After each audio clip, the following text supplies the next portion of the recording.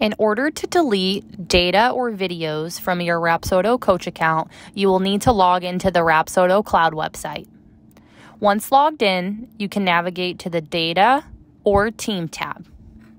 You will scroll down and select a player profile. Once the profile has been selected, you will navigate to the Sessions tab. At this point, you will have the ability to delete an entire session by selecting the circle icon and selecting it. From here, you will see the ability to delete the entire session. Please be aware that if you select the entire session, all shots will be chosen. If you would like to delete individual swings, you will need to open the session. In order to open the session, click on the date. Next, you will navigate to the Details tab. Once here, you can see every swing that was taken during that session. You can go through and select only the ones you want to delete. At this point, you will see that I have three shots selected. I will select delete on the trash can icon, and this will give me two options to delete the entire shot or just the video.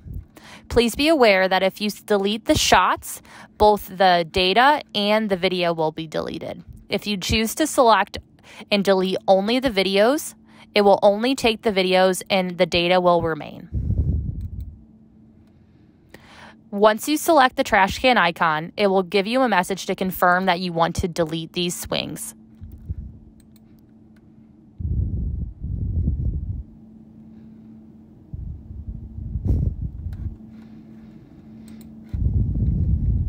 Once you have su successfully deleted the swings, you will see they've been removed from the session and all reporting.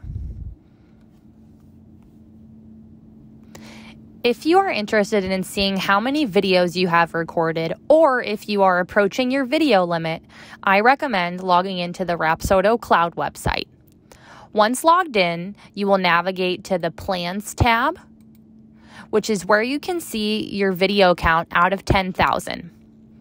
If you want or need to delete unwanted videos, I recommend navigating to the Data tab. On the Data tab, you will be able to see how many videos each player has. You can also adjust the filter to include more recent sessions or older ones.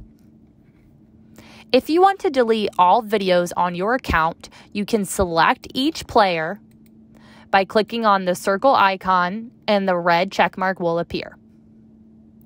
Once you have selected at least one player, you will see the delete icon populate. Once you have clicked the trash can, you will see the option to delete shots or videos. If you only want to delete the videos, please make sure you click on the video button. This will only delete the videos.